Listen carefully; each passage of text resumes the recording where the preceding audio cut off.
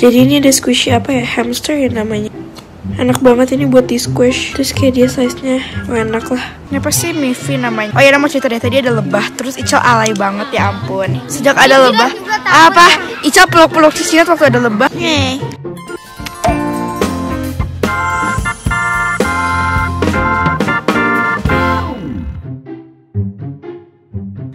Hai semuanya, ngomongin soal squishy yang sering kita mainin Ternyata squishy terbuat dari busa yang ajaib loh Namanya memory foam Benda ini ditemuin sama ilmuwan NASA Tapi buat apa ya NASA nggunain memory foam?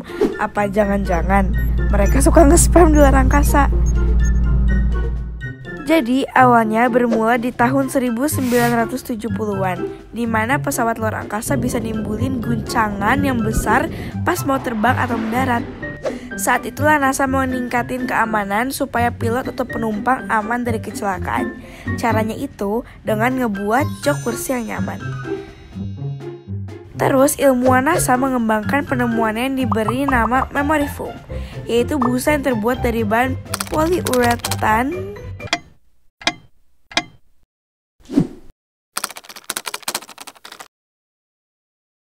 polyurethane. Makasih Google Translate. Dan di dalamnya ada kantong udara kecil-kecil. Bahan inilah yang ngebuat gerakan pegas dari memory foam jadi lambat atau yang kita kenal sebagai slow rise.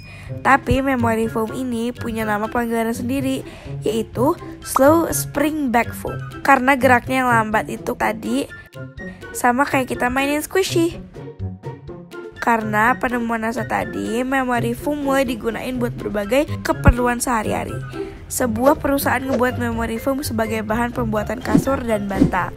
Faktanya, memory foam juga bisa dibuat untuk kasur yang ada di rumah sakit dan bisa bikin pasien merasa nyaman karena kasurnya terbuat dari bahan yang empuk kayak memory foam.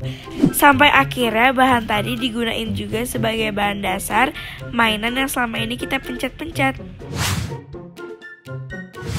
Oke, sekarang kita jadi tahu kalau squish yang kita mainin itu adalah benda spesial yang terbuat dari bahan yang juga dipakai di luar angkasa. Kita juga jadi tahu kalau sesuatu penemuan itu bisa bermanfaat buat berbagai macam keperluan di masa depan. Oke deh, sampai jumpa lagi ya di video selanjutnya.